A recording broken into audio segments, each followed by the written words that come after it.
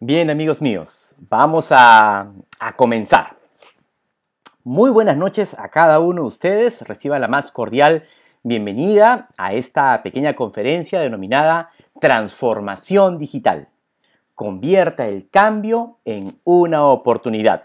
En ese sentido, quisiera también aprovechar la oportunidad que nos da la página de ContaWebs de participar en este pequeño conversatorio, en esta pequeña conferencia. Muchas gracias por su tiempo, muchas gracias por la consideración. Y bueno, ahora sí, vamos a dar inicio. Mi nombre es Rafael Trucíos y voy a comentarles un poquito de mi experiencia, tanto laboral, académica, y cómo darles algunas recomendaciones también para que dentro de toda esta situación, que claro está, nadie se lo esperaba, podamos sacar adelante a nuestras empresas. Bien, vamos a comenzar entonces. Vamos a reducir aquí un poquito mi fotografía porque yo creo que ustedes quieren ver la presentación, no mi fotografía. Así que vamos a agrandar esto y ahí está mucho mejor. Perfecto. Entonces, comencemos, amigos míos. Y lo primero que a mí me gustaría comentarles o transmitirles es algo que todos nosotros ya somos testigos. Y es de que el mundo ha cambiado. Y el mundo ha cambiado de muchas formas, tal como vemos a esta señorita en la fotografía. En primer lugar, vimos cómo a mediados del año pasado los restaurantes cerraron. Los centros comerciales cerraron. ¿Y saben qué? Sucede algo muy particular que yo quisiera transmitirles dentro de mi experiencia. A fines del año, del año pasado, no, del anteaño pasado, es decir, a fines del 2019, tenía la oportunidad de reunirme con algunas personas, dueñas de negocios, con la finalidad de sugerirles, con la finalidad de decirles lo importante que es el uso de herramientas digitales. ¿Ok? Y bueno, estas personas, a cargo de sus respectivas compañías, de algún modo me daban la razón y me decían, sí, Rafael, en realidad el, el desarrollar estrategias de marketing digital es muy importante, somos conscientes que necesitamos contar con una página web, debemos de incrementar nuestra presencia de marca en redes sociales o de repente se me ocurre tener una tienda virtual. Pero por el momento, no. Como, como le decía este Shakira Alejandro Sáenz, ¿no? Te lo agradezco, pero no. Y en realidad es porque en muchos casos esto no formaba parte de las prioridades a corto plazo de las compañías. ¿Verdad? Entonces, de pronto nos cae una pandemia. Se cierra todo. Nadie puede visitar a nadie. Los locales comerciales están cerrados. ¿Y qué es lo que pasó? A raíz de eso, nos damos cuenta de que el aforo se redujo, que no existe ningún tipo de presencialidad y más allá de todo eso, no podemos negar de que toda esta pandemia también causa una presión emocional bastante grande, bastante fuerte. Nos, aburrimos, nos estresamos. Pero la empresa, ¿qué es lo que pasó con la empresa? ¿Qué es lo que pasó con la compañía?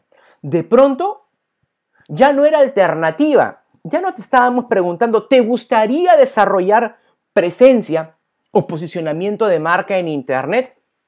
¿Te encantaría mejorar tus canales de comunicación virtual, eso ya no era una opción. Y justo como, como hicimos en el video, ¿no? cuando les comentábamos, no se trata si quiero o no quiero. Las empresas que no estén inmersas en este contexto digital, que no se transformen digitalmente, nos agrade o no, van a desaparecer del mercado. Hay algo que nosotros identificamos ya incluso antes de la pandemia. Y es de que tanto ustedes como yo, en nuestro rol de usuarios, en nuestro rol de consumidores finales, cada vez confiamos menos en lo que las marcas propiamente dichas nos dicen.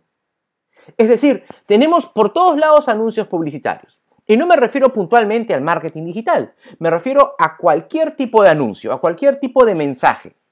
Y claro está, las empresas siempre te van a decir, yo ofrezco el mejor producto, yo cuento con el mejor servicio. Y bueno, de cierta manera ese es el objetivo de la publicidad, ¿no? Transmitir todo lo bueno que tienes. Pero ¿qué es lo que sucede en la actualidad? Piensen en la última vez que compraron algo. Y si es que lo compraron a ciegas, creyendo en lo que la publicidad nos, nos indica, o de repente le preguntaron a otra persona. Es decir, ¿alguien ha consumido el producto de tal marca? ¿Ustedes han utilizado esto o aquello? ¿Y qué es lo que pasa? Internet y la generación de contenidos por parte de usuarios como ustedes y como yo, en la actualidad tiene mucha más importancia, tiene mucha más relevancia al momento de la decisión de compra. Entonces, ¿qué es lo que vamos a hacer? Vamos a contemplar cuatro elementos, cuatro elementos que forman parte de esta transformación digital. Punto número uno. Como acabamos de comentar, el Internet dejó de ser opcional. Si nuestras empresas no están en Internet, si nuestras empresas no se comunican con su audiencia por Internet. Si nosotros, para ser muy puntuales, para ser muy específicos, si nosotros no desarrollamos este tipo de webinars a través de Internet, ¿cómo los vamos a hacer? Los teatros, los cines están cerrados, los auditorios también. Imaginemos por un momento toda la logística que antes implicaba dar un seminario como este, dar una conferencia como esta. Las invitaciones, las llamadas, los correos, separar el local, hasta el coffee break si quieren, este, tómenlo en cuenta. Y ahora lo único que necesitamos es una computadora y un acceso a Internet. Entonces, ¿cuál es el segundo modelo o cuál es el segundo paso que debemos de contemplar? esta adaptación. Esta adaptación a la nueva normalidad. Sería muy ingenuo el año pasado pensar de que esto iba a durar un par de meses. No pensábamos de repente, no sé ustedes, quizá yo, no, pero no pensábamos que iba a demandar tanto tiempo. Y recién, poco a poco, empezó el tema de las vacunaciones, por ejemplo. Pero todavía hay un tiempo más por esperar. Esto no va a cambiar mañana, no va a cambiar el lunes. Entonces, dentro de todo, tenemos que ser conscientes de este proceso de amoldamiento que ya, que ya estamos viviendo. Si no estamos en Internet, mis estimados amigos, simplemente no vamos a existir. Las personas, cada vez que tienen la oportunidad de hacerlo, van a evitar salir. Mientras menos salgamos, Mientras menos salgamos, mejor. Y en verdad, es así. Es así, amigos míos. Entonces, ¿qué nos hace creer que esta situación de hoy a mañana tendría que ser distinta?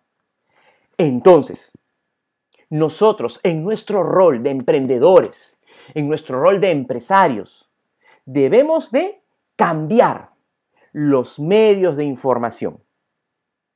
¿Dónde es que está mi mercado objetivo? En todo caso, ¿qué plataformas utiliza mi mercado objetivo para poderse comunicar? ¿Cuáles son las redes sociales que más utiliza? ¿Con qué frecuencia? Y si somos, somos un poco más específicos, ¿qué días de la semana se conectan más? ¿De lunes a viernes o sábado y domingo? ¿Y a qué horas? Porque todo eso es clave es clave para poder generar contenidos y sobre todo aumentar mi alcance. Hagamos un ejercicio muy sencillo. Miren esta, esta diapositiva con dos imágenes específicas de la misma actividad, del mismo evento.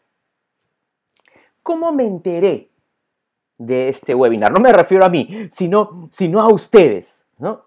¿Cómo, ¿Cómo se enteraron ustedes de este webinar? ¿Acaso alguien los llamó por teléfono? Se me ocurre, ¿no? De repente, de repente agarraron y dijeron, aló, este, Alexander, aló, Pierina, aló, Linda, este, por si acaso el sábado va a haber una reunión, va a haber una conferencia virtual con Rafa Trucíos. No, no funcionó así. Se generó el contenido en Internet. Y con nuestros amigos de ContaWebs, ¿qué es lo que hicimos? Grabamos un video que lo compartimos en la fanpage de Facebook, empezamos a trabajar con las historias, en las publicaciones. Por mi lado, yo también compartí el evento. ¿Y qué es lo que pasaba? Las personas comentaban, las personas interactuaban a partir de qué? A partir de esta misma publicación. Publicación que, si bien fue publicada inicialmente por conta webs, ¿qué es lo que pasó? Empezó a compartirse en otros lados, en mi Facebook personal, en el Facebook de la empresa, en los grupos en los cuales también, también este, formo parte. Entonces, poco a poco, el radio de acción fue creciendo. El radio de acción fue ampliándose. Más personas hablaban, más personas interactuaban, teníamos likes, teníamos me encanta, teníamos me asombra. Y en realidad, amigos míos, es que esa es la forma por la cual las empresas en la actualidad se dan a conocer. No es que estamos buscando minimizar la relevancia o el impacto de la publicidad tradicional, porque cada producto, cada servicio y claro está, cada sector económico e industrial tiene sus modos, tiene sus formas. Pero no podemos negar de que esta transformación es la que más utilizan las personas. Yo no sé, por ejemplo, qué has estado haciendo antes de iniciar esta transmisión. O si estás viendo la versión grabada, ¿qué hiciste antes? Pero lo que sí te puedo asegurar es que de repente estabas conectado o conectada a través de estos dispositivos. Estabas buscando de repente algún producto o estabas comprando algo, de repente estabas pidiendo comida, estabas pidiendo un taxi. Estamos la mayor parte del tiempo conectados. Entonces, si nosotros estamos conectados, mi audiencia, mi mercado también. Entonces, ¿qué es lo que vamos a hacer? ¿Por dónde vamos a empezar? ¿Cuáles son las acciones? ¿Qué, vamos a determinar hacer? Miren por aquí, amigos míos. Y aquí encontramos cuatro criterios, cuatro criterios muy importantes al momento de desarrollar nuestra estrategia digital. En primer lugar, vamos a hablar del contenido relevante. ¿Y qué importante es eso? Porque en la medida que nosotros empecemos a generar contenido, en la medida que nosotros empecemos a crear nuevas publicaciones, vamos a conectarnos más, vamos a engancharnos más con nuestra audiencia, vamos a conectarnos más con esos futuros posibles clientes. Y claro está, vamos a fidelizar, vamos a enganchar a los que ya, ya también, ya son nuestros clientes. Entonces, acá hay un punto de partida muy importante. Aquí no se trata de publicar los contenidos que a mí me agradan. No se trata de que yo, yo diga, bueno, vamos a subir esto, o vamos a, publicar aquello, o, compartimos, o compartimos lo otro. Hay que identificar, hay que identificar qué es lo que le, le agrada perdón, a mi mercado objetivo. Y dentro de eso, analicemos particularmente el tipo de contenido que nos agrada en redes sociales, para ser muy específicos. Y en redes sociales tenemos fotos, tenemos videos, tenemos nuevos estados. Obvio, tenemos los memes, infaltables los memes. Tenemos los links también. Pero ojo, no en todas las empresas, no en todas las fanpages va a funcionar de la misma manera. Es por eso, es por eso que nosotros, luego de publicar nuestros contenidos, no vamos a limitarnos a decir, bueno, pues ya publiqué. Ese es mi aporte a mi transformación digital. No, de ninguna manera. Hay que ver cuál es el impacto que han generado estas publicaciones. Yo puedo considerar, se me ocurre, que los videos son lo máximo. Yo puedo considerar que los videos son la herramienta ideal para promover la venta de un producto o de un servicio. Pero ¿cómo lo puedo saber en realidad si no he podido visualizar las estadísticas?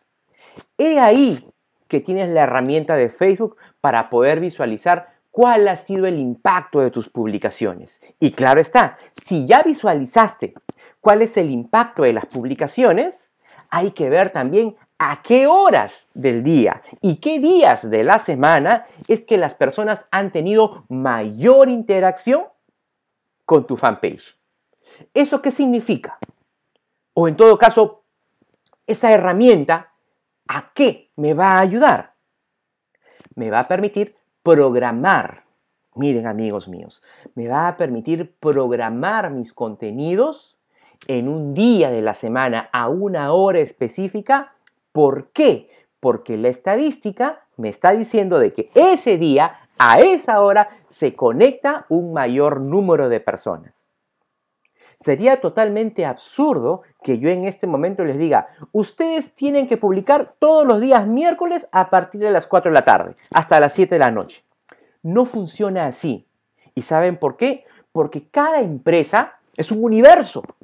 Cada empresa es un mundo. Con personas con diferentes gustos y preferencias.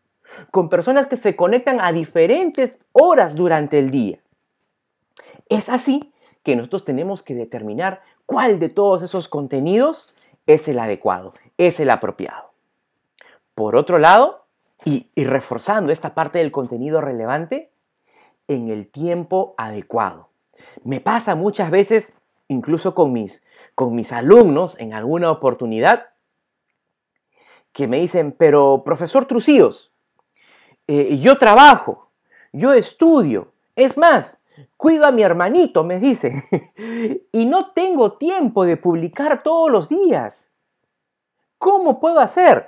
Y ese es el punto de partida que es erróneo.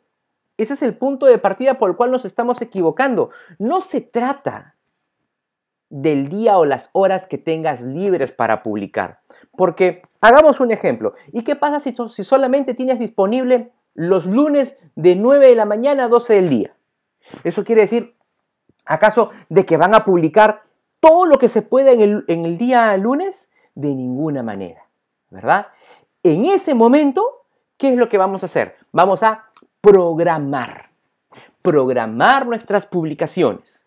¿Para qué? Para toda la semana, en función, claro está, a tus tiempos. Entonces empiezas a programar, empiezas a programar. Y eso es muy importante, porque ¿qué es lo que sucede? Ya no dependes ¿verdad? Ya no dependes de estar conectado todo el tiempo a Internet o frente a tu, a tu computadora o a tu tablet para publicar contenidos. Basta con que te sientes dos o tres horas a la semana, programes las publicaciones y listo. Eso sí, eso sí, siempre atento a qué? A las notificaciones, porque recuerda, te van a estar escribiendo, pero ya no es lo mismo estar sentado en una computadora haciendo tus diseños, subiendo tus videos, a atender mensajes por este canal de comunicación. ¿Se dan cuenta? Hasta ahí tenemos dos herramientas ya. Vamos con la tercera herramienta, los objetivos medibles. Miren, los objetivos medibles, es decir, ¿qué espero yo a través de la generación de contenidos. ¿Qué es lo que espero yo con esta campaña? ¿Qué es lo que espero obtener con esta publicación? No se trata de decir, bueno, yo quiero tener una fanpage en Facebook porque mi competencia por ahí o mi otra competencia por allá también tienen fanpage en Facebook. Yo quiero tener una cuenta en Twitter porque ellos también tienen. Obvio, tengo que estar en Instagram, todo el mundo usa Instagram. No funciona así. Lo que tenemos que determinar es cuál es la plataforma que utiliza nuestra audiencia y a partir de ello fijar un objetivo. Consejo de amigo, o como bien dicen a veces, ¿no? Consejo de pata. Estos objetivos tienen que ser medibles. ¿Y a qué nos referimos con objetivos medibles? Que estos puedan ser cuantificables. Nosotros no podemos decir quiero vender más.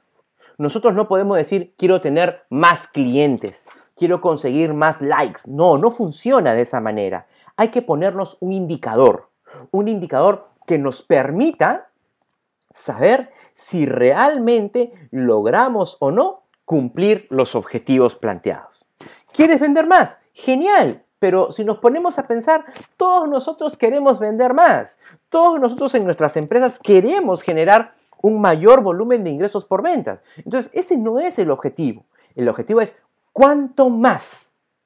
Mire ustedes, ¿cuánto más queremos vender? Entonces tú mismo, tú misma, te pones una métrica, una métrica en la cual, ¿qué es lo que vamos a hacer? ¿Quieres vender más? Muy bien, ¿cuánto más quieres vender? Ok, quiero vender un 2% más todos los meses. Entonces ahí, ¡pum! ¿no es cierto? Esa es tu estadística, ese es tu indicador de logro o de éxito. Quiero, quiero tener más clientes. Muy bien, pero ¿cuántos clientes más quieres tener? Ah, bueno, a mí me gustaría tener por lo menos, por lo menos todos los meses 10 clientes nuevos, lo máximo. Genial. ¿Se dan cuenta? Entonces, de esa manera estamos estableciendo a dónde es que queremos llegar. Y por último, si vas a participar en más de una red social, debemos de tener una distribución equitativa. ¿A qué nos referimos con una distribución equitativa? De que la misma cantidad de contenidos que trabajas el lunes tiene que ser la del martes, la del miércoles, la del jueves y así en toda la semana y de igual modo en todas las plataformas sociales donde tengas contenido. A veces me preguntan, Rafael, ¿y, qué tanto recomiendas este tipo de autopublicaciones que, por ejemplo, si yo posteo algo en Facebook, automáticamente sale en Twitter? Es importante ahí determinar si es que eso te funciona. Recuerda, en Twitter solamente aceptamos 280 caracteres. Y no sé si, por ejemplo, lo que tú quieras transmitir o lo que tú quieras expresar en Facebook sea en la misma cantidad de caracteres que en la otra red social. O por ejemplo, tú en Facebook de repente programas una publicación y le agregas un link. Y tú pones de que cada vez que publiques en tu fanpage en Facebook, también automáticamente, ¡ping!, se publique en Instagram. Pero ¿qué pasa con Instagram? Los links que yo coloque en una publicación en Instagram no se ven. O sea, yo puedo cliquear, ¿no? Yo puedo hacer tap, pero no me va a mandar en ningún lado. Entonces, no exactamente va a funcionar ese modelo de replicar contenidos, salvo que sea una fotografía y esté acompañada solamente de un texto pequeño. Ahí sí, pero por ejemplo, para una campaña de generación de enlaces o links, no es lo adecuado. A ver, es así, amigos míos, que contamos con estas cuatro decisiones, con estas cuatro herramientas. Punto número uno, el contenido relevante. Punto número dos, en el momento adecuado. Número tres, objetivos medibles. Y número cuatro, la distribución equitativa. El consumidor. El consumidor que eres tú. El consumidor que soy yo. ¿Cuánto hemos cambiado? En verdad, analicemos qué tanto nosotros hemos cambiado, ¿verdad? Y una de las principales cosas que debemos de tener en cuenta es de que cada vez nosotros pasamos más tiempo conectados. Hasta hace más o menos una media hora antes de empezar con esta, con esta conferencia, estaba en mi misma computadora, esperando que sean las 7 de la noche, pero estaba viendo una película en Netflix. Y mientras veía una película en Netflix, estaba conversando por celular con mi esposa que está en otra habitación. ¿No? Entonces, cada vez nosotros tenemos un rol protagónico más frecuente, más constante en redes sociales. Yo veía cómo mis amigos comentaban o compartían el evento.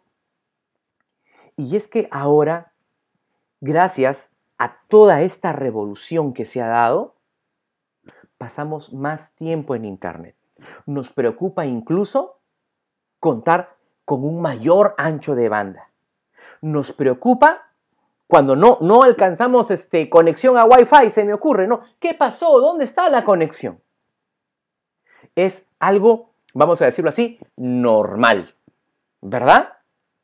Entonces, nos conectamos ya no solamente desde una computadora como esta, nos conectamos desde una tablet, nos conectamos desde un celular, vemos películas vía streaming, cada vez pasamos más tiempo en Internet. Y tal como comentamos al principio, ¿y en quién confía? ¿En quién confía el mercado?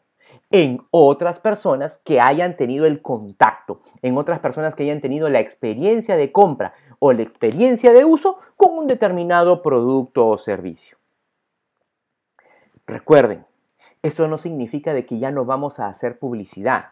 Eso significa de que debemos de trabajar en fidelizar, en fidelizar a nuestros clientes, porque ellos a partir de ahora se van a convertir en el eco de nuestras marcas, se van a convertir en el eco de nuestros productos o servicios. Es por eso de que para poder lograrlo hemos considerado cuatro componentes que formarán parte de una estrategia digital.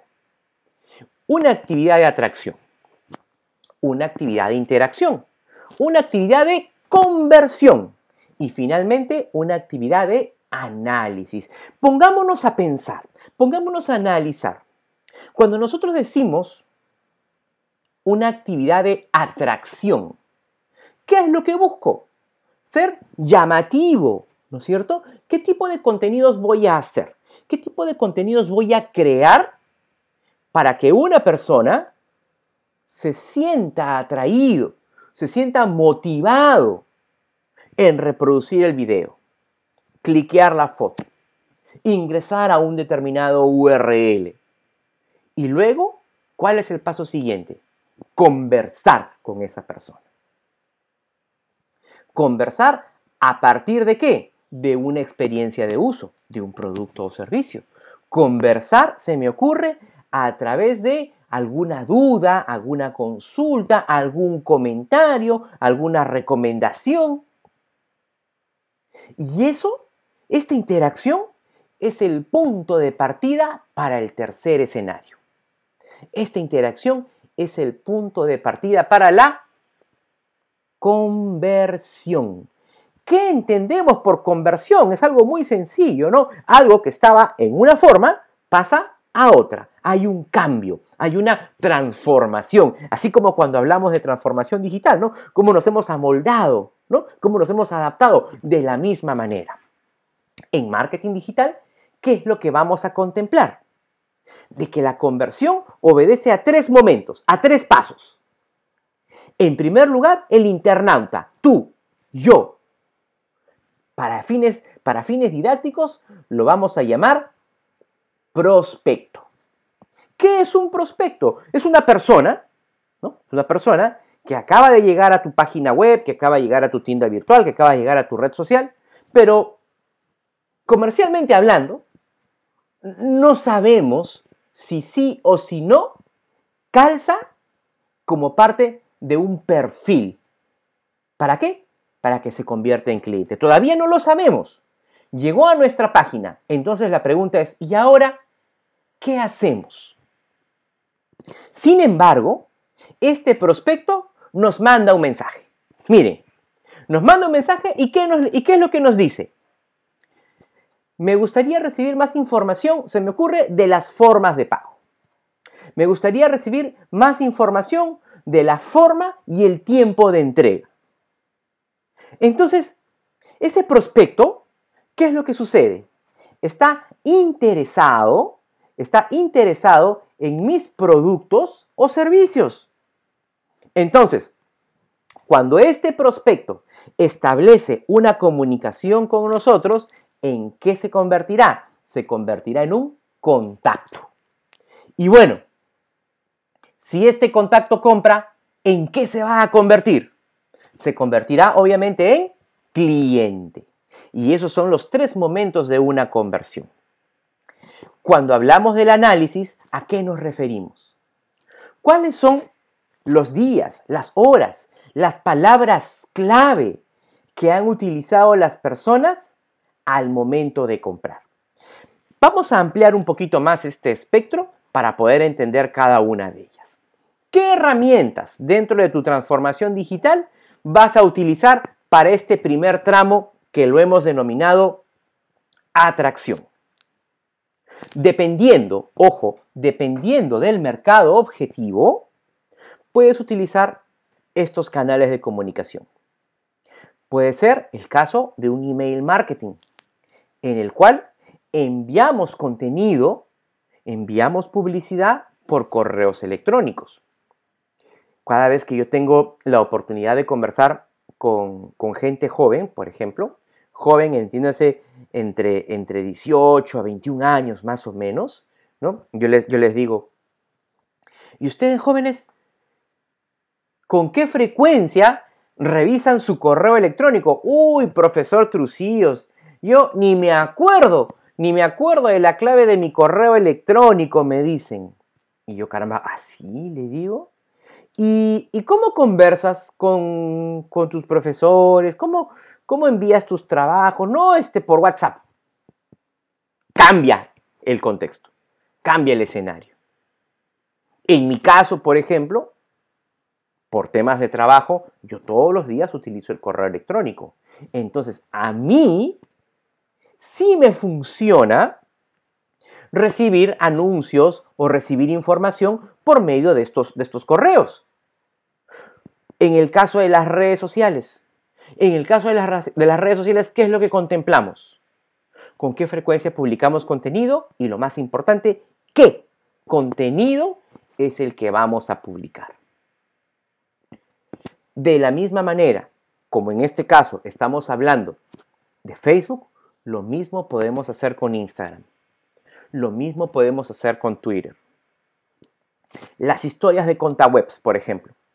Yo que sigo a ContaWebs en Instagram y yo veía las historias y decía, qué chévere. Y le mandaba ahí un ping, un, un corazoncito. Entonces, es en función al mercado que tú vas a determinar cuáles serán los mecanismos, cuáles serán los medios que vas a utilizar para atraer personas, para atraer nuevo público. Y la interacción, y la interacción no es más que otra cosa que la conversación. La conversación que va a tener el proveedor, que es el ofertante o vendedor, con su cliente o en todo caso con su posible, con su posible cliente. Algo que a mí siempre, siempre me gusta compartir es este caso de éxito. El caso de Bembos. Bembos, con su modelo de gestión de redes sociales, ha dado la vuelta al mundo. No hay, no hay marquetero que no hable del desarrollo de estrategias digitales que ha tenido Bembos en los últimos años. Y es porque, ¿qué es lo que pasa? Bembos encontró una manera muy bonita, muy interesante de generar más audiencia, de generar más participación. Seamos sinceros, ¿qué pasaría si alguno de ustedes, por ejemplo, tiene un restaurante y alguien le pregunta, ¿no? ¿Hacen delivery a Narnia?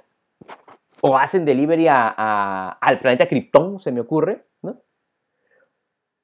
Porque Aslan tiene hambre y no come Burger King, se me ocurre.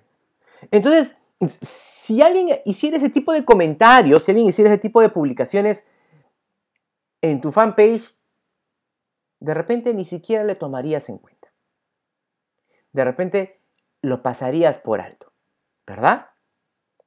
Pero eso es justo lo que Bembos evitó, pasarlo por alto. ¿Y qué es lo que hizo? Pues le respondió a Luis. Luis, desgraciadamente en este momento solo hacemos entregas en el mundo real. De ser posible, podrías hacer un pedido a tu casa y llevárselas tú. Aquí te dejamos la zona de reparto y ¡pum! Suácate, como se dice, que le coloco el link de mi página web, donde puede ver las zonas de reparto. Tú dirás, ah, bueno, es un link más. No, es una oportunidad más de generar tráfico, tráfico a mi sitio en internet. Y recordemos algo esencial, a más tráfico, mayores posibilidades de ocupar los primeros lugares en los motores de búsqueda. O por ejemplo, el segundo caso, ¿no? Señores de Bembos, dice esta señorita Sum Chávez, dice, señores de Bembos, ¿cuántos gatos necesitan para hacer una hamburguesa de cuarto de libra? Y otra vez, ¿no? Yo, los invito a pensar, ¿y qué pasaría si alguien me pregunta cuántos gatos necesito para hacer una hamburguesa? Y lo más probable es de que, es de que nos quedemos este, callados. Pero ¿qué es lo que hizo Bembos? Aprovechó aprovechó las circunstancias para generar nuevo contenido, contenido que como pueden ver en la, en la diapositiva, consiguió, al menos en este momento cuando se hizo la captura de pantalla, 162 me gusta. Señores de Bembos, ¿cuántos gatos se necesitan para hacer una hamburguesa de cuarto libro? Libra, perdón. Y Bembos le responde, sería inútil intentarlo, Zoom. Nos tomaría años entrenar a un solo gato para que pueda freír una hamburguesa. Mucho mejor es trabajar con humanos. Le sacamos partido, ¿no? Le sacamos el máximo provecho a la generación de contenidos. De eso se trata. Pero también hay algo que debemos de contemplar. ¿Y qué hacemos con los comentarios negativos? ¿Verdad? No podemos negar de que los comentarios negativos van a estar ahí. No podemos negar de que los comentarios negativos formarán parte de todo ese timeline ¿no? de publicaciones. Uno de los principales errores que cometen las empresas al momento de generar contenido y este no recibe una reacción favorable por parte de las personas es borrarlo. ¡Wow! ¡Wow! Borrarlo. Amigos míos, no, de ninguna manera. Los comentarios negativos están por algo ahí. Y hay dos tipos de comentarios negativos. Los comentarios negativos, vamos a decirlos así, reales, que son el resultado de la insatisfacción, de la incomodidad o de algún problema que alguno de nuestros clientes haya tenido. Y por otro lado, los comentarios negativos que están ahí solamente para molestar, solamente para incomodar. Lo que bien llamamos dentro de la esfera digital a los famosos trolls, ¿verdad? Entonces, ¿qué hacemos? ¿Qué hacemos con estos comentarios negativos? Para empezar, recuerda de que esto no es personal. Hay un problema con la marca y hay que sacar cara por ella. Hay que saber enfrentar la situación. No lo tomes personal. No te pongas a discutir con las personas por redes sociales porque no sale tu nombre. Sale el nombre de la empresa. Así que mucho, mucho cuidado con ello. Entonces, punto número uno. Una persona nos envía un comentario. Enfadado, molesto. Perfecto. Entonces, ¿qué es lo que vas a hacer tú? Lo primero que vas a hacer es solicitar información. Pero ojo, ojo, no le pidas la información de modo público. Porque si le pides la información de modo público, pues ¿qué es lo que va a hacer la otra persona? Te va a contestar de modo público. ¿Verdad?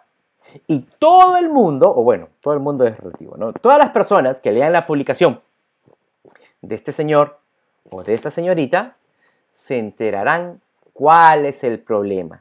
Y eso nos puede generar complicaciones futuras, porque de repente alguien por ahí dirá, a mí también me pasó. Y con eso estamos manchando ya, manchando la reputación de nuestra marca. Y no, no podemos permitir que eso suceda. ¿Ok? ¿Qué más podemos hacer? Estimado, se me ocurre, estimado Nel, estimado Nel, te hemos enviado un mensaje por interno. Y cuando estés por interno, ahí pues el cliente, no lo tomes a mal ya, pero ahí el cliente va a desatar toda su furia va a desatar toda su ira y te va a decir tal por cual, mía lo que pasó, me dijo, me comentó, ya. Déjalo, déjalo. Es un momento. No lo tomen a mal, pero la persona se siente incómoda, ¿no? La, persona se siente ofuscada. Déjalo que descargue su ira, porque tú sabes bien que no es contra ti, no es personal. Y luego, con mucha calma, con mucha serenidad, vas a hacer la pregunta del millón entiendo, Señor. ¿no? Primero el, factor de empatía, entiendo, Señor. Comprendemos, señorita. Lamentamos, caballero. Y ahora viene, ¿no? ¿Cómo te doy solución al problema? ¿Qué te gustaría que yo haga por ti? Entonces, en este momento, el cliente dirá, bueno, que, me devuelvan mi dinero, que me cambien el producto, este, que tengan más cuidado para la próxima, no lo sé. Sea cual fuere el caso, todo el problema, toda esta situación desfavorable o negativa, la solucionas pero por interno. Y mira, cuando la solución por interno se corrigió, otra vez vuelves al espacio público. Estimado señor Nel, se me ocurre, de acuerdo a lo conversado, se le devolverá el dinero. Estimado señor Aranda, ¿no? de acuerdo a lo conversado, se me ocurre, estamos cambiando en este momento el producto. Entonces, ¿qué es lo que pasa con los externos? ¿Qué pasa con los terceros? Los terceros ven una situación problemática. Uy, uy, aquí hubo un problema. Uy, uy, uy. Pero también, ¿qué cosa es lo que ven? que la empresa solucionó el inconveniente que tenía. Entonces, de esa manera, ¿qué es lo que estamos haciendo? Estamos dando una imagen de empresa seria. Estamos dando una imagen de una empresa responsable, preocupada por el grado o nivel de satisfacción de sus clientes. Pero, profesor Trucillos, me dicen, ¿no? ¿Y qué hacemos con los trolls? No te preocupes de los trolls. A ellos déjalos solos, déjalos que publiquen, déjalos que se gasten, como se dice. De cuando en cuando regalarles un me encanta. Pero no, no pierdas el tiempo con ellos. ¿Sabes quién se va a encargar de los trolls? Tus clientes. De tus clientes van a salir las respuestas apropiadas. Porque el troll te va a decir, el producto es feo, la marca es mala, el servicio es pésimo. ¿Y qué es lo que van a decir los clientes fidelizados? ¿Qué es lo que van a decir los clientes satisfechos? Qué raro, a mí no me ha pasado y voy todas las semanas. ¿Estás seguro? ¿Qué producto compraste? Porque a mí me va bien. Yo soy cliente de esta compañía hace cinco años. ¿Se dan cuenta? Entonces, esa es la importancia de la interacción. Y ahora sí, justo lo que habíamos comentado hace un momento, ¿no? Los tres escenarios, ¿no? Los tres niveles, los tres pasitos del prospecto. El primero es cuando la persona no sabe, o no sabemos en todo caso, si va o no va a ser nuestro cliente. Hasta que establezca una comunicación con nosotros. Hecha la comunicación, genial, se convirtió en un contacto. Y en realidad es ahí donde entra la gestión comercial, es ahí donde entra toda la garra, todo el empuje de tu equipo de ventas. Porque ahí tienes que convencerlo de que tu producto o servicio es el idóneo, es el mejor. Y si compra, pues ya lo habíamos manifestado, ¿no? Si compra, se convertirá en nuestro cliente. Ahí está la secuencia. ¿Qué cosa debemos de saber? Si bien hay tres niveles o tres pasos, no todas las empresas siguen este, este orden. Hay empresas que solamente se quedan en contactos. Por lo general son empresas mucho más grandes que lo que buscan es reforzar el posicionamiento de la marca. En la actualidad, con los presupuestos tan recortados que, encontramos en las, en las, gerencias de marketing, de los cuales soy testigo yo, eh, ese tipo de conversiones casi siempre está orientada a seguir los tres momentos, prospecto, contacto y cliente. Y finalmente, el análisis. Qué importante, qué importante es el análisis, porque no es solamente, uy, qué bueno, me compró. No. Yo quiero que me compre y a partir de eso quiero que las ventas sean constantes. Quiero que las ventas sean recurrentes. ¿Se dan cuenta? De esa manera voy a asegurar el ingreso. Entonces, ¿qué necesitamos saber? ¿Qué es lo que necesitamos conocer? En primer lugar, ¿de dónde vienen esas personas? Son de Lima, son de provincia, y vamos a analizar, ¿no es cierto?, cuál es la cantidad o qué porcentaje de participación encontramos en cada uno de estos escenarios. ¿Qué palabras clave? Miren, ¿qué palabras clave utilizaron estas personas para llegar a mi sitio web? Lo que comentamos al principio, ¿a qué hora se conectan? Qué importante para poder hacer las programaciones respectivas de contenidos el día y hora en que las personas pasen un mayor tiempo conectado. ¿Qué les gusta más? ¿Foto o video? Los dos. O memes. O historias. ¿Se han dado cuenta cuán bien funcionan las historias en la actualidad? ¿Se han dado cuenta cómo, cómo se generan las interacciones? Y no es solamente ya, voy a subir la historia y listo. La historia está acompañada de una serie de componentes, ¿no? Las menciones, por ejemplo. O un hashtag. Y claro está, la musiquita, pues, ¿no? Todo eso lo hace más atractivo. En realidad, las historias cada vez vienen teniendo un impacto más grande. Las historias vienen teniendo un impacto mucho más fuerte, más que las mismas publicaciones, que las mismas publicaciones programadas. Y ojo, todo no es color de rosa, ¿verdad? No, no, no todo es maravilla, porque nos podemos equivocar y podemos pensar que algún tipo de contenido puede ser atractivo, puede ser agradable, y si no es así, identificar, identificar errores y a partir de eso que no, que no, simplemente que no vuelvan a suceder. Eso es lo que vamos a hacer. Entonces, con estos cinco elementos vamos a determinar nuestra analítica. No necesitamos ser unos especialistas en Big Data para tomar decisiones. Basta con ver los insights de Facebook. Basta con ver las estadísticas de tráfico a nuestras páginas web. Y a partir de eso, empezar, empezar a tomar decisiones. Entonces, ¿qué necesitamos para empezar? A ver, vamos a, vamos a mover acá un poquito la figurita para que se pueda ver. Ahí está, para que se pueda ver la diapositiva completa. ¿Qué necesitamos para comenzar? En primer lugar, requerimos, requerimos, amigos míos, identificar las plataformas y cuál es el uso que le vamos a dar a cada una. En el caso, en el caso puntual de Facebook ya hemos dicho, ¿no? La importancia de las publicaciones programadas. En el caso de Twitter, cuán relevante es el uso de los hashtags. Siempre, siempre se recomienda utilizar hashtags en las publicaciones, porque de esa manera ¿qué es lo que vamos a lograr? Vamos a lograr colgarnos de otro tipo de publicaciones. Vamos a colgarnos de lo que sea, sea en este momento tendencia. Vamos a colgarnos de lo que las personas están hablando el día de hoy. Por ejemplo, hoy sábado, 7 y 53 de la noche. ¿Se dan cuenta? Eso es lo que vamos a, hacer. En el caso de LinkedIn, es el impacto de la marca. Es otro tipo de perfil, definitivamente mucho más profesional.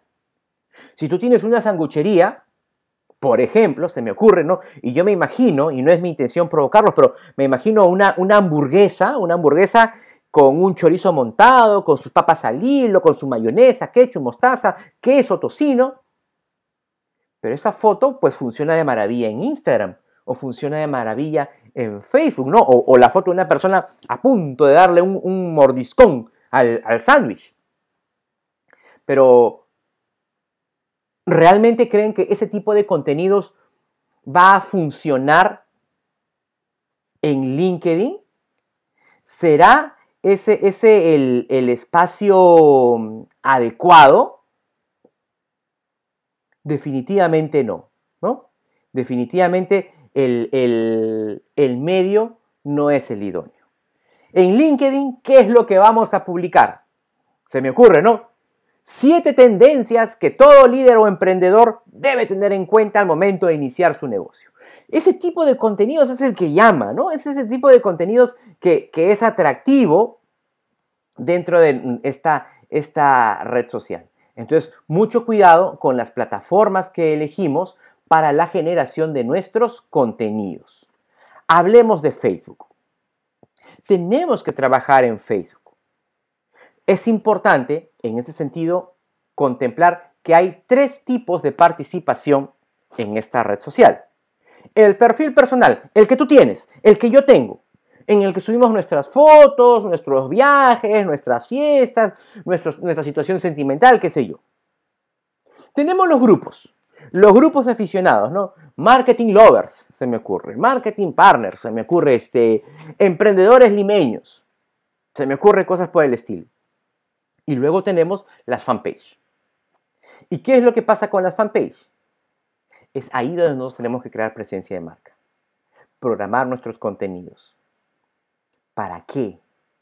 Para poder saber, amigos míos, quiénes interactúan con qué frecuencia lo hace y de esa manera poder tomar decisiones.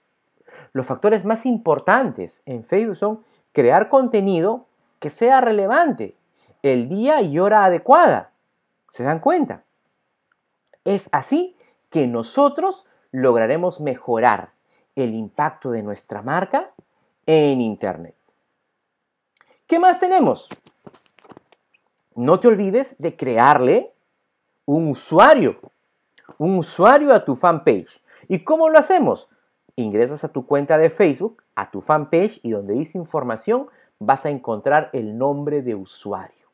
¿Por qué es importante el nombre de usuario? Porque si no, vas a tener una extensión demasiado larga. Por ejemplo, en el caso de ContaWebs es www.facebook.com slash contawebsoficial. Yo tengo una fanpage también, que es una página de seguidores, y se llama el blog de Rafo, www.facebook.com slash el blog de Rafo. Mi hija se ha dedicado a preparar galletitas, brownies y ha creado también una fanpage. Es www.facebook.com slash canelitahs. Así lo ha llamado. Son nombres cortos, nombres fáciles de escribir, nombres fáciles de recordar. ¿Para qué?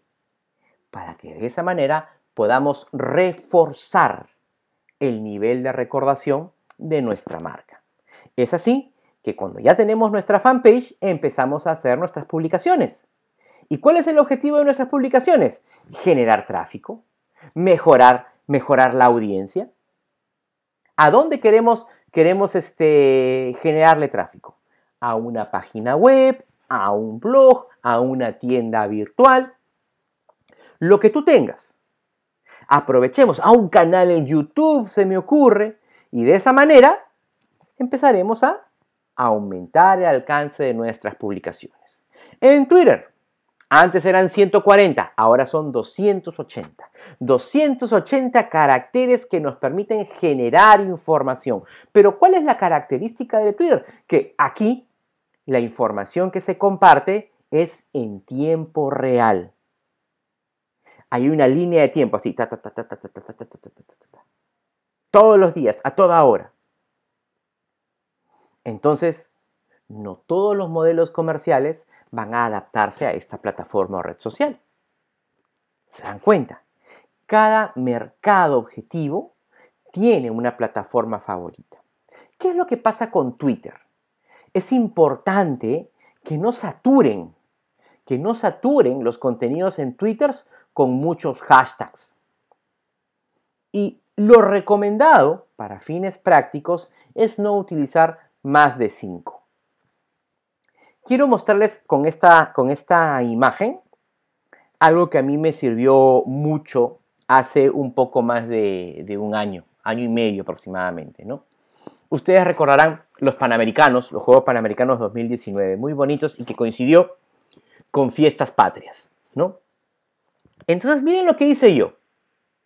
Hice una publicación hablando sobre un aplicativo que me permite compartir mis códigos para generar dinero. ¿No? Y, mi papá, mi papá hasta, hasta el día de hoy siempre me pregunta, ¿y cómo haces para este, generar rapicréditos? Me dice, ¿no? Ah, bueno, comparto mi código de mis blogs, de mis redes sociales, igualito. Entonces, ¿qué, qué es lo que hice acá? Aproveché la coyuntura, porque era, yo me acuerdo que era un viernes, era un viernes por la noche y todos estábamos enganchados con esa majestuosa presentación que hicieron en los Juegos Panamericanos. Entonces puse así, hashtag Rappi y el blog de Rafo traen una super promoción por hashtag otra vez fiestas patrias para que disfrutes de los hashtag otra vez Juegos Panamericanos. Y empecé, así como tienen esta figurita de la, de la pizza, empecé a hacerlo con pizza, con pollo a la brasa, con hamburguesas y empecé uno tras otro, tras otro, tras otro. ¿Y qué es lo que sucede? Que las personas que estaban siguiendo la tendencia de los Juegos Panamericanos o en todo caso de fiestas patrias, veían exactamente mi publicación. ¿Y qué es lo que sucedía con esa publicación? Se registraban en el aplicativo, pedían, compraban y yo obviamente ganaba. Entonces, cada, cada uno identifica de qué manera, ¿no es cierto? De qué manera vas a generar tus contenidos, de qué manera vas a aprovechar hablando de lo que es tendencia para que beneficie a tu imagen, a tu marca, a tu producto, a tu servicio, a tu empresa. Este es uno de los tantos ejemplos, amigos míos, que las personas utilizan para aprovechar estos contenidos en redes sociales. En LinkedIn cambia otra vez el escenario. Hablamos de la, de la formación académica, ¿no?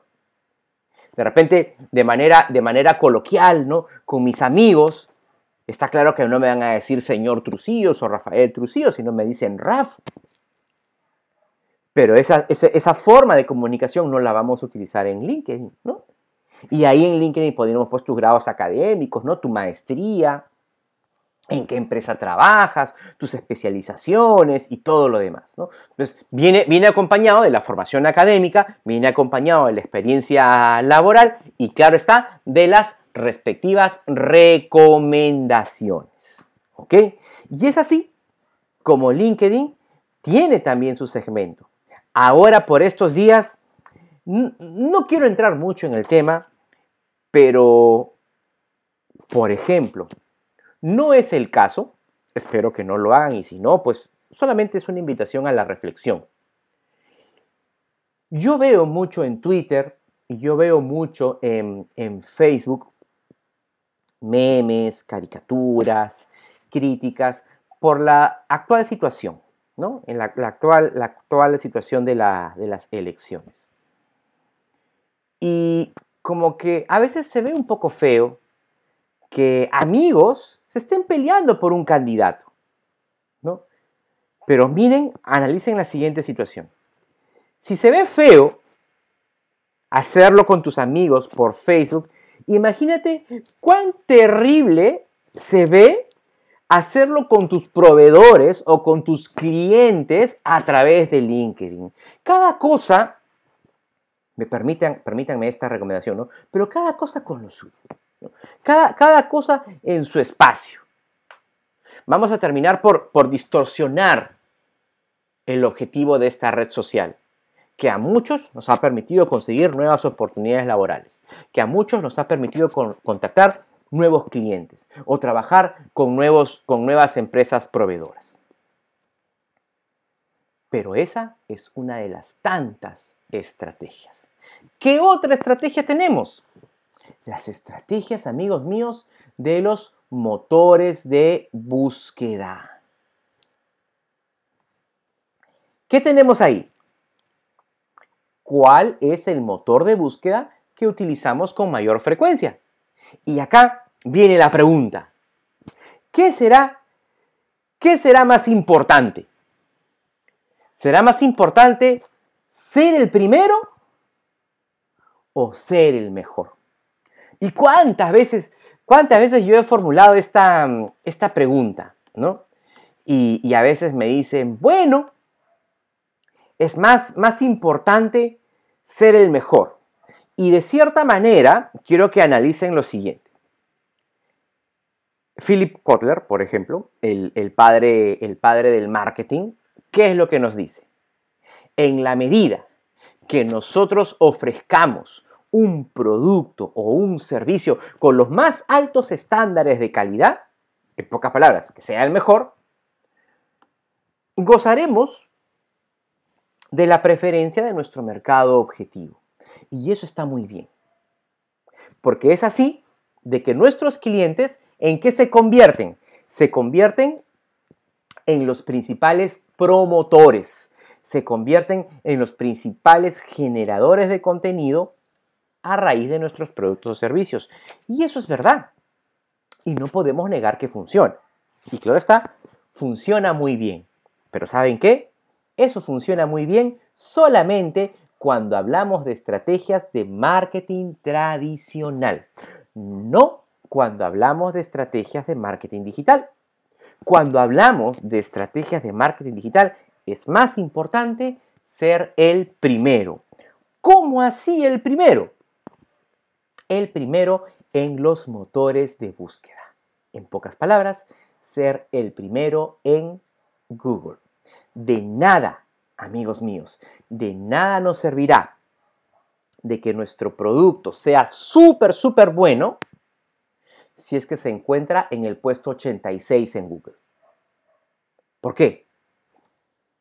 Porque nadie lo va a ver. ¿Se dan cuenta? Nadie lo va... ¿Quién pasa? A ver, ¿Quién pasa a la segunda, tercera página cuando hace un, criterio de búsqueda en Google? Al menos, al menos permítanme, ¿no? Pero yo no. Yo no. Entonces, hay que pensar en eso. ¿Qué es lo que vamos a hacer acá entonces? Vamos a trabajar, vamos a ver por aquí un ratito, con dos tipos de estrategias. El SEO y el SEM. El SEO, amigos míos, es el posicionamiento natural. Es el posicionamiento orgánico, el cual se logra por méritos propios. Contenido relevante, links de entrada y de salida, ¿no es cierto? Mucho tráfico. Entonces, eso hace que un sitio se posicione en el primer lugar en los motores de búsqueda. Y por otro lado, ¿qué es lo que tenemos? El SEM, que es el posicionamiento pagado. Es el posicionamiento también conocido como patrocinado, en el cual tú utilizas el sistema de publicidad de Google, denominado Google AdWords, en el cual tú le pagas a Google por aparecer en los primeros lugares en los motores de búsqueda. Ello dependerá a tu presupuesto y a la frecuencia con la cual quieras que aparezcan tus anuncios. Es probable, es probable que alguien me pregunte, y profesor Trucíos, ¿cuál es más importante? ¿Cuál es más relevante? Los dos son importantes, porque si tú hoy creas una página web, esta no se va a posicionar mañana en los motores de búsqueda. Eso no va a pasar. Por lo tanto, necesitas el apoyo, necesitas la ayuda de la publicidad pagada, de la publicidad patrocinada en Google. Y cuando ciertos criterios de búsqueda ya estén posicionados, pues cambias. ¿Te das cuenta? Cambias, ¿para qué? para seguir trabajando con otro, con otro conjunto de palabras, de palabras clave. Entonces, ya sabemos, cuando desarrollemos estrategias de marketing digital, más importante es ser el primero. Debemos de generar visitas, debemos de generar tráfico a nuestros sitios web. Y una de las principales formas por las cuales generaremos este tráfico es utilizando contenido que sea atractivo. Por eso lo denominamos contenido relevante. Esta herramienta que tienen ahí les va a servir para poder identificar cuáles son las palabras clave con las cuales podemos posicionarnos. Dentro de todo este contexto de posicionamiento web, ¿Cuál es el objetivo del SEO? ¿Cuál es, ¿Cuál es el objetivo de este posicionamiento natural? En el posicionamiento natural lo que buscamos es así, ¿no? Ranquearnos, ranquearnos, es decir, generar, generar mucho tráfico, generar muchas visitas. Y en el caso del posicionamiento pagado, es decir, en el caso del SEM, ¿qué es lo que buscamos? Buscamos leads, ¿ok? Buscamos prospectos. Por lo tanto, ¿De qué nos podemos estar dando cuenta aquí? Que cada una de estas herramientas tiene un propósito, tiene un objetivo. Pero no todo es tan sencillo. Hay errores muy comunes que se dan cuando hablamos de una estrategia SEO. Vamos a explicarlos aquí. Miren amigos míos. Punto número uno duplicar contenido. ¿Y a qué nos referimos con duplicar contenido? Estamos haciendo referencia a que sacamos, es decir, copiamos y pegamos contenidos de otra página web. Y yo, la verdad, no, lo entiendo. No entiendo para qué hacer eso con mi, con mi marca, ¿no? ¿Para qué hacer eso con mi imagen de empresa? No tiene ningún sentido. Y de repente a tu cliente lo puedes engañar, de repente a mí me puedes engañar porque no nos sabemos de memoria todos los contenidos que hay, que hay en, Internet. Pero hay alguien que lo ve todo. Hay alguien que lo sabe todo. Google. ¿Y Google qué es lo que va a pasar? Se va a dar cuenta que estás copiando contenido. Se va a dar cuenta de que ese sitio es copia del contenido de otro sitio. Por lo tanto, ¿qué es lo que va a pasar? Te va a penalizar. Y yo no creo que tú quieras que te penalicen, ¿no? No, no, no, no, eso no, no va. ¿Qué significa penalizar? Que nos hacen retroceder, retroceder, retroceder, retroceder muchas posiciones en, en los motores de búsqueda. Primer error. Segundo error, contenido pobre. Si vas a hacer una publicación utilizando 100 o 120 palabras, mejor no lo hagas, porque eso no funciona así. No publiques por publicar. Recuerda lo que comentamos hace un ratito. Contenido relevante, contenido atractivo. Saben, ¿no? Que 100 palabras es un poco más de un párrafo de 4 o 5 líneas. Entonces, eso no me dice mucho. Tómate el tiempo de redactar un artículo con por lo menos unas 400 o 500 palabras, que sea contenido rico, que sea contenido interesante para tu audiencia. Además, cuando tú publicas contenido interesante, ¿qué es lo que va a hacer tu audiencia? Lo va a compartir. Así que estamos, estamos genial con eso. Otro de los problemas que encontramos en las páginas web es una carga lenta. De repente te compraste tu cámara profesional y empiezas a tomarle fotos a tus productos y las subes en una resolución altísima y cada foto pesa 30 megas. Se me ocurre. No, pues. No, no, no hagas eso porque no todos cuentan con el mismo ancho de banda que tienes tú.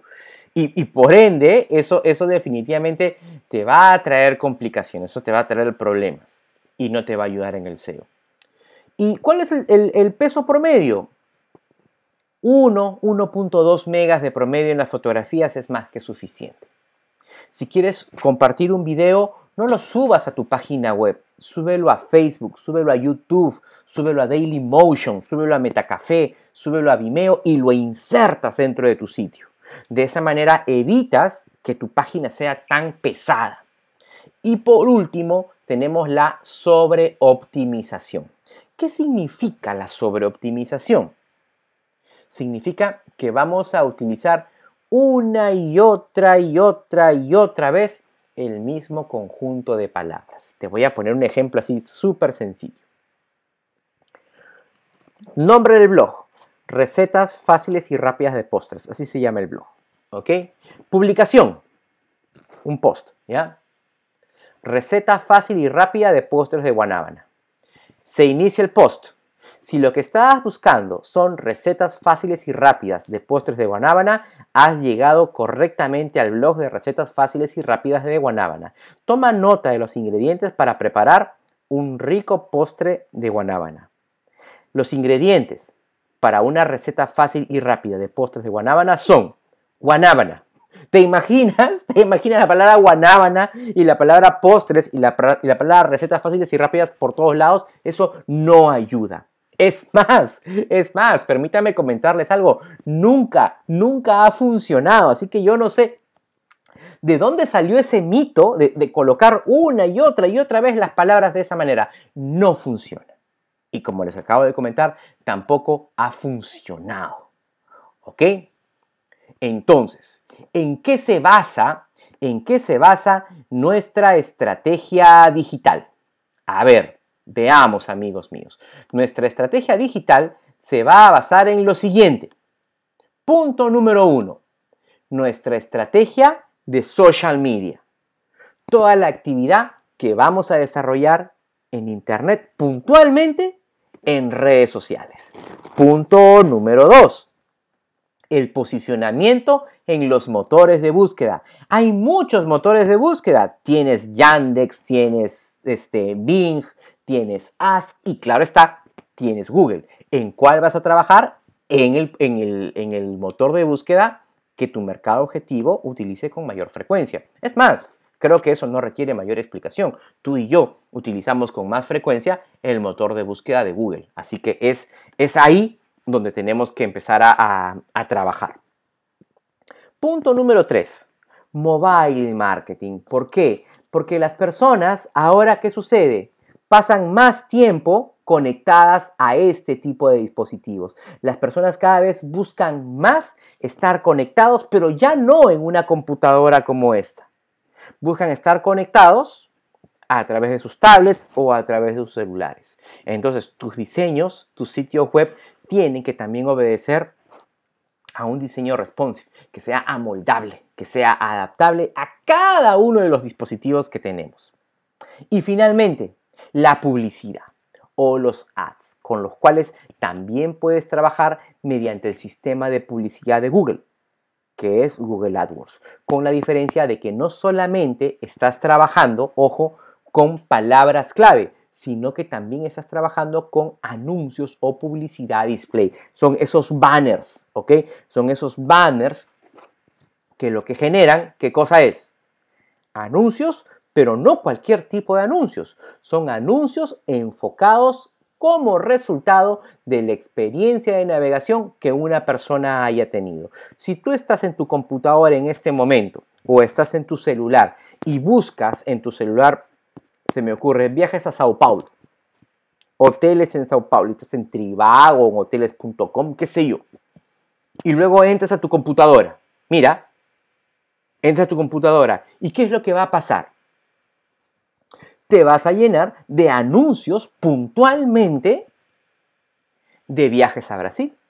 Ahí te aparecerá TACA, te aparecerá LATAM, ¿no? Te aparecerá Trivago, Despegar y todos toda la oferta de boletos, de boletos aéreos. Hace poco estaba buscando comprar una cadena para mi bicicleta y lo buscaba en mi celular. Y cuando entraba a Facebook, todo mi Facebook, bueno, todo sería exagerar, ¿no? Pero la mayoría de anuncios de, Facebook eran o de Sodimac, de Coolbox o de Promart. ¿Ok? Y en los tres, ¿qué me ofrecían? Cadenas para bicicleta. Entonces, esa es una clara muestra de cómo funcionan los, la publicidad display. ¿Como resultado de qué? De la forma cómo interactúan las personas por medio de estas, de estas plataformas. ¿Ok? Y es así, amigos míos, que llegamos, llegamos al momento final. Es así que llegamos, amigos míos, al término de esta, de esta presentación. Espero realmente que haya logrado cubrir sus expectativas. Espero realmente que los contenidos les hayan sido muy valiosos y recuerden esta, este consejo, esta recomendación. Sigan la página de ContaWebs, ¿sí? Pero las estrategias digitales ya no son una alternativa ya no son una opción que tú puedes elegir o descartar. Las herramientas digitales se van a quedar durante mucho tiempo. Por lo tanto, trabajemos enfocados en posicionarnos en nuestros motores de búsqueda, en buscar nuevas interacciones a través de redes sociales. Y de esa manera nos diferenciaremos de nuestra competencia. Yo soy Rafael Trucillos y ha sido un honor, ha sido un gustazo realmente compartir con, ustedes, a los que están conectados por ahí, que, veo a, Percy, veo a, Perla, lo veo a, Nilton, lo veo a, a Nel Aranda, a cuántas personas más veo por ahí, a, Jonathan, muy bien. Amigos míos, me olvidaba de algo muy importante si necesitan este material, porque seguro que, les va a ser de mucha utilidad, no olviden registrarse en la página de ContaWebs o en todo caso también dejar sus datos aquí. Eso, eso será muy, muy importante para que puedan tener acceso a la información utilizada en esta, en esta presentación.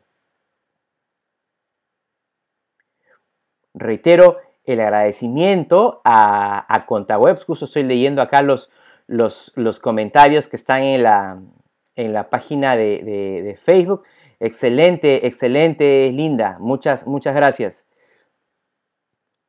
Muchas gracias por su tiempo, muchas gracias por su atención y será en una futura próxima oportunidad que nos podamos juntar. ¿sí? Muchas gracias por su tiempo y nos vemos. Muchas gracias.